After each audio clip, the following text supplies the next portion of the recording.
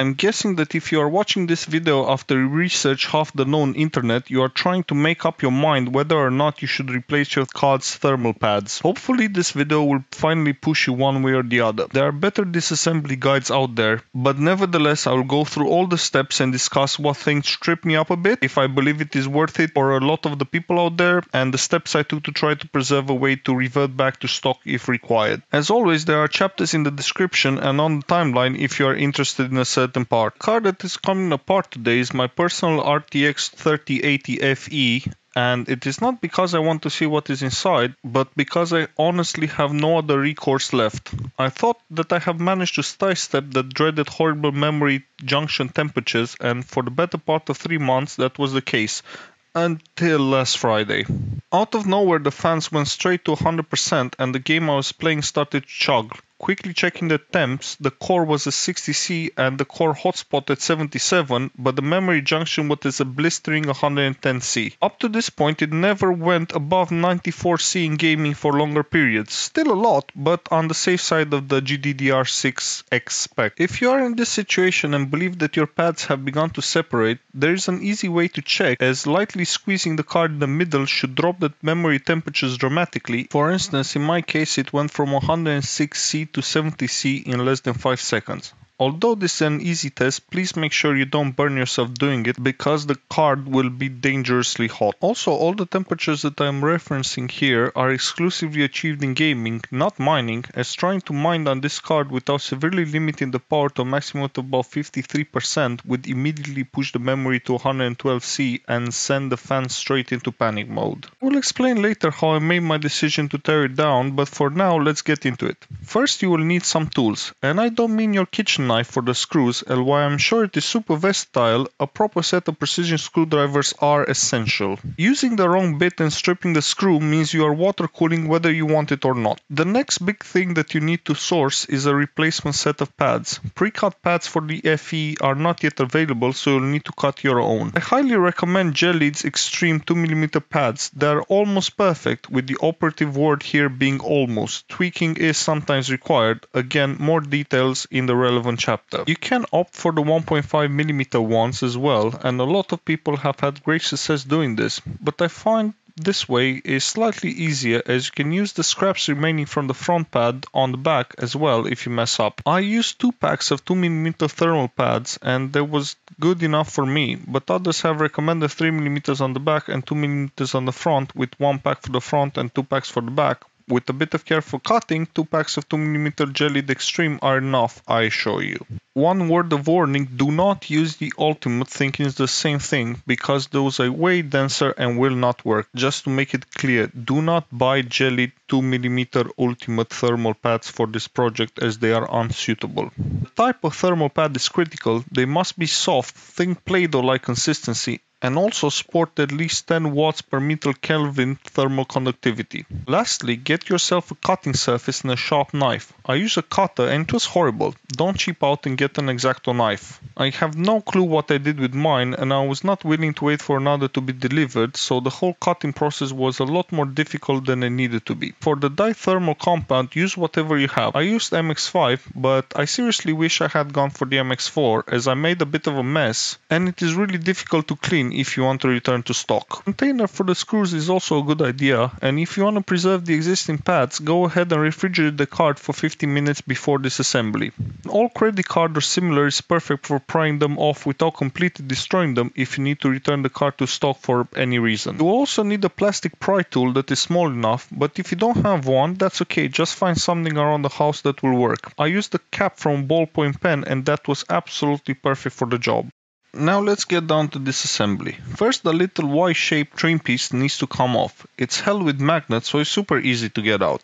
Using a piece of strong tape you can also use a blade or super strong magnets, you will need to take out the four screw covers. They are held on by magnets and they are poka-yoked so you can't put them back in the wrong hole. At this point you have to take off all 8 screws and pry off the backplate. I found that using the card's weight is a good way to unseat it. Don't rush as you do not want to end up with a curved backplate that does not make proper contact anymore. Also be careful because there are two very small bushings where the little Y-shaped piece locates into. Be mindful of those if they have a tendency to fly off if you are not careful careful. At this point you can go ahead and take off the IO shield as well. It only has a few screws on the front and there really isn't anything else interesting here.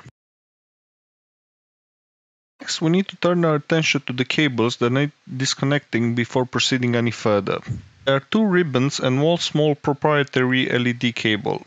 Start with the ribbon cables as those are easy to take apart, just lift the gate with your finger or the plastic pry tool and gently remove the cable from its enclosure. If you feel resistance, don't just tug on it and make sure it is centered when coming out. Not forget to lift the gate or you might damage the cable. Otherwise, this to work, well, not too bad. Unfortunately, the last cable, the LED one, is a pain to get out. Sorry for the light by the way, I forgot to adjust the settings. I was a bit more concentrated on the GPU at hand. Anyway, you'll need to push the metal strap out towards the front of the card. It has two distinct clicks when it unfastens. And here's the kicker. You need to remove the cable straight up. Do not pull on the wires or you will damage it. I already knew from the other teardown videos that I watched and the research I did, but I still employed a magnifying glass to better inspect the connector. That's just how paranoid I was about it. This is frankly a ridiculous proprietary solution that should not exist, but again, I must admit I do understand that these design decisions are usually made with an overarching goal in mind, be it cost or reducing assembly time or difficulty, so it just happens to end up not very end user friendly when poking around where you are technically not supposed to poke. It was just a matter of removing the leaf spring and freeing the PCB from the cooler. Do not take each screw out all at once as you might apply uneven pressure and there is the potential for damage on the GPU die and then it's actually game over. Start with one screw and work in an X pattern until they are all unfastened. At this point, the only thing keeping the PCB attached to the cooler is the thermal compound and the thermal pads. It will provide a decent amount of resistance, so don't rush and use the weight of the cooler to separate the two. You can try and gently wiggle the PCB side to side, but don't be super aggressive and whatever you do, don't pry it off as you might destroy internal traces and then again it's game over. My one was actually really stuck down and after a few minutes I started getting really frustrated and I actually took a break before coming back and unfastening it. And that's it, the hard part is all done, I promise. But now it's actually time for the seriously tedious bits.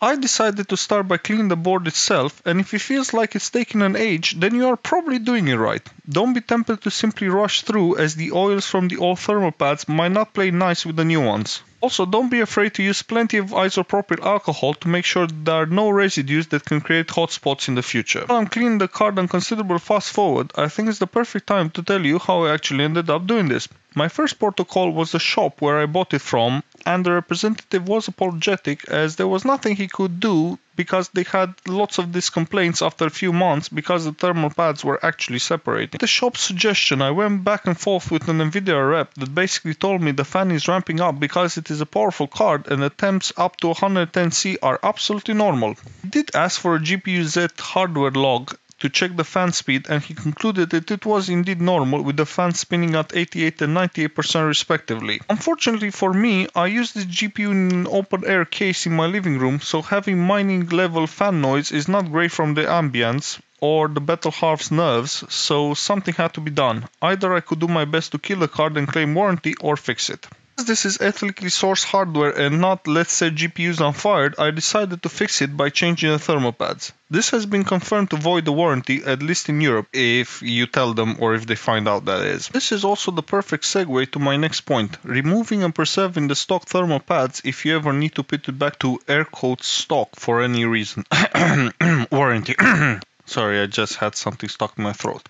Trying to pry them off any other way, I believe it will result in them disintegrating, so I use an all plastic card to go underneath and essentially scrape the pad off the cooler and gently deposit them in a safe place. Obviously, you'll not be able to do this with the thermal paste, but Arctic MX4 is a close enough match, maybe not in consistency, but definitely in color. I actually used MX5 in the reassembly, but I did so safe in the knowledge that it is soluble in its isopropyl, so it is easy to remove if required. After all the thermal pads and paste are off the cooler, make sure you again clean everything thoroughly with alcohol. It is just as important as clean the card itself. Now it's time to start the reassembly. As I previously mentioned, a really good knife is required along a vernier caliper ideally, but if you don't have one or like me lent it to someone who forgot to bring it back, then a ruler is alright. I'm going to link in the description to a template made by someone on Reddit. All credits goes to them for a good job that I'm sure has already helped a lot of people, including yours truly. The thermal pads are sandwiched between two types of plastic. On one side a tough sheet and on the other something that resembles a peelable foil. If you have a proper knife, start cutting from the soft side and make sure to cut all the way through. If you don't have a proper knife, then it's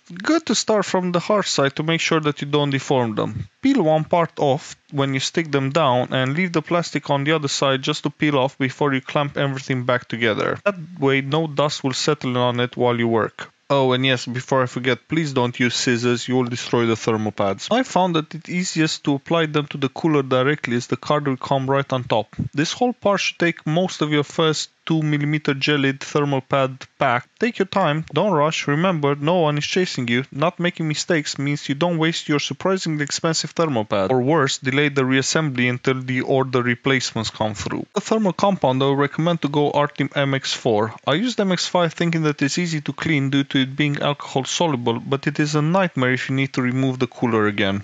We'll explain this later on, but there is a good chance that your car will need to come apart again to adjust the pads. In any event, I used the time on tradition of an X with 4 dots. Here more thermal paste is actually better because unlike a CPU that has a heat spreader, this is the actual die we're making contact with, so any spot without paste is a massive issue. As usual, I thought about spreading the paste with the included spatula and then promptly moved on. Next step is to gently tip the card onto the cooler and start the reassembly process. The only tricky part here is making sure none of the cables are caught under the card. Be very careful when doing this, especially the ribbon ones can very easily get damaged now if they get caught in a crooked way between the PCB and the cooler.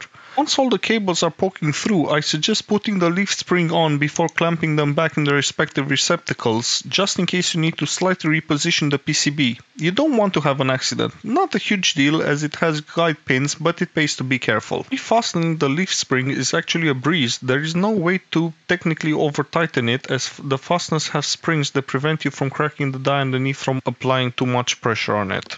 Do the exact same procedure in reverse as when you took it off, working on X pattern and not progressing any one corner too fast compared to the rest. Also, very important, if you do lose or strip one of the screws, do not attempt to simply replace it with another similar one because you run the risk of damaging the silicon underneath. Just go ahead and order a water block as the risk is far too great to proceed anymore otherwise. After the leaf spring is nice and tight, you can go ahead and reinsert the cables in the receptacles and close the gates. Obviously make sure that both gates for the ribbon cables are up and the metal cage is open before trying to insert any of the three cables. Considering you managed to take them out without mangling, this should be a very easy reassembly by comparison. Lastly, it's time to reattach the bracket and go have a cup of tea, coffee, lunch, or whatever you fancy. If it is the first time you've done this procedure, I'm guessing it's been about an hour and a half by this point. After that well-deserved break, it's time to come back and test the card. Trust me, the backplate importance for memory cooling is minimal. The main objective is to get good contact between the cooler and PCB components. Having the backplate on and in contact with the thermal pads will definitely help, but not with more than 2 to 3 degrees Celsius, so testing the card at this point is essential. I haven't spotted this step in any of the other guides, and I must admit I'm a bit confused as to why, especially considering the plethora of people that had improper contact after first reassembly.